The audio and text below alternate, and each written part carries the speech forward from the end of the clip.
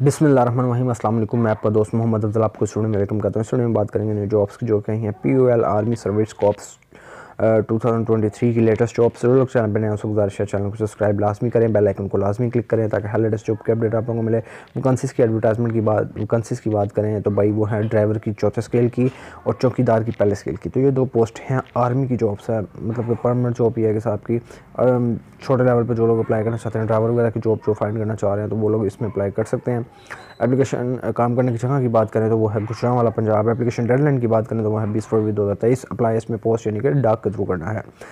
कोई भी courier service आप यूज़ कर सकते हैं, उससे पहले एडवर्टाइजमेंट ज़रूर मुलाजा कीजिएगा। एडवर्टाइजमेंट करने कंप्लीट डिटेल है ड्राइवर की बात करें, चौथा स्केल है, दो सामिया, अठारह से तीस साल उम्र है प्राइमरी पास ड्राइविंग लाइसेंस उसके पास होना चाहिए, पाँच साल तजर्बा होना चाहिए।